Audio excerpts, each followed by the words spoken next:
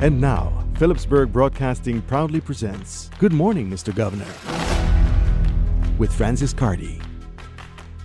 Good morning, Mr. Governor. Happy St. Martin's Day.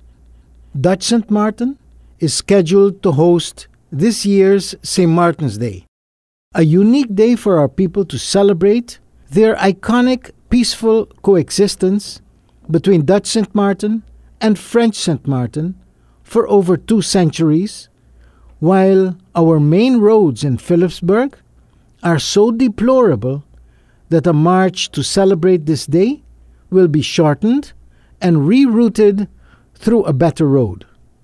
Rather than dealing with this day's historical and cultural importance to our people and worrying about what our existing political leaders on both sides of the island will say to us about the day's importance, which every year is the same rhetoric, let's take a closer look at the cause of our Philipsburg's roads, deplorable conditions, and if my memory is not failing me, it is my understanding that the reason why cobblestones were used on these main roads in Philipsburg is because it was easier, cheaper, and even more efficient to repair cobblestones than the usual asphalt or concrete.